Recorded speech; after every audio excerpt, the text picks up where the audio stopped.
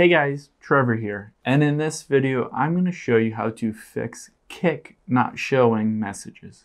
It's pretty quick and easy, so let's jump right in. Now, if you've gotten new messages on Kik but they're not showing up, it's not working properly, I'm going to walk you through a couple different steps you can do to definitely get that working again.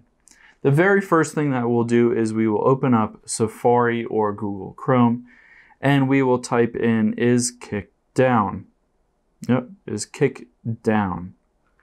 So we want to see if Kik servers are down, and we'll go to down detector. That is a good option.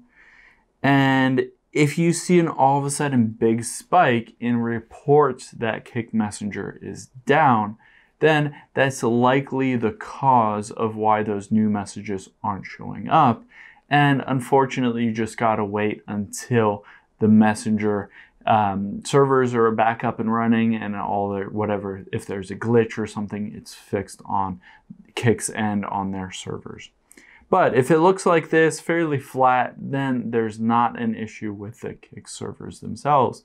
And we will go into your specific phone and try to fix the issue. Now let's open up the settings app here and then we'll want to scroll down until we get to general and tap on general and then iPhone storage. Now, once this loads up, it'll load all of the apps that are on my phone here, and I'll just find Kik right here, and I'll offload and reinstall the app.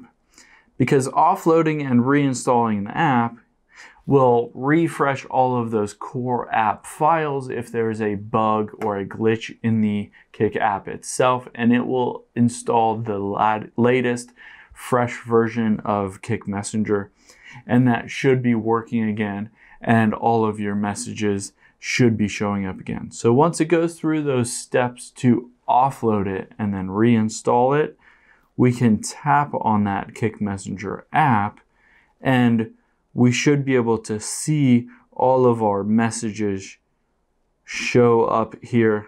Oh, it says I was logged out. I might need to log back into my account here and log back in and you should be able to see all of these messages show up again so that you can get new messages and send messages and everything. Hope this helps. Thanks for your time today, and I'll see you on the next one.